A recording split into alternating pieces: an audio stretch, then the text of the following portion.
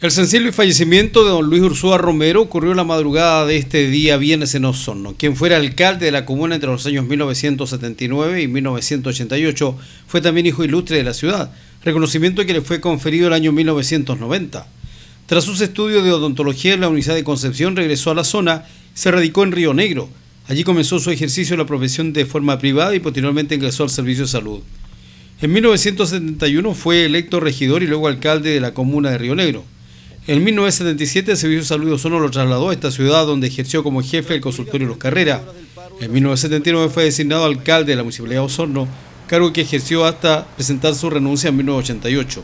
En 1990 fue nombrado hijo ilustre de Osorno. Desde entonces se dedicó al ejercicio de su profesión de odontólogo en su consulta privada.